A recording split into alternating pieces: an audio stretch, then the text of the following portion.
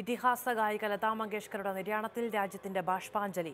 രണ്ടു ദിവസം ദേശീയ ദുഃഖാചരണം പ്രഖ്യാപിച്ചു. ആദരസൂചകമായ ദേശീയ പതാക രണ്ട് ദിവസം താഴ്ത്തിക്കെട്ടും.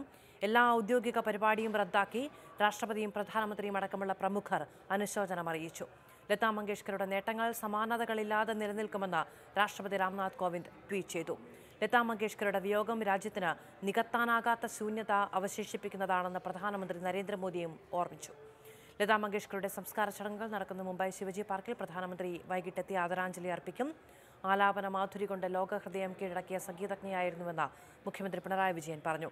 ദേശത്തിന് അതീതമായ ഒരു ജനതയെ സംഗീതത്തിലൂടെ ഒരുമിപ്പിച്ച ഗായികയായിരുന്നുവെന്ന് ഗവർണർ ആരിഫ് മുഹമ്മദ് ഖാൻ അനുസ്മരിച്ചു.